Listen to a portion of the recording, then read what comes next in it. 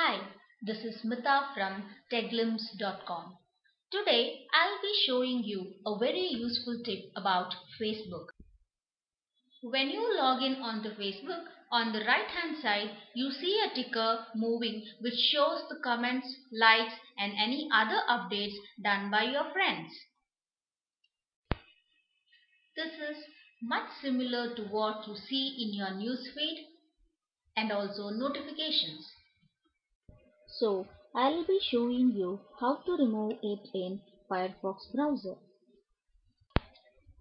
Go to Firefox Add-ons Manager.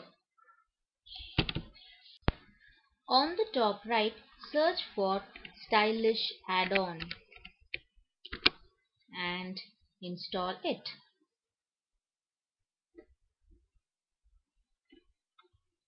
Then restart the Firefox.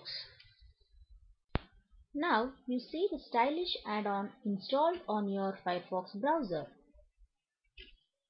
Now go to userstyles.org and on the left hand side search for Facebook ticker. Click on Facebook ticker remover and now click on install with stylish button and again click on install button. Now you will be free from the irritating ticker. Thank you.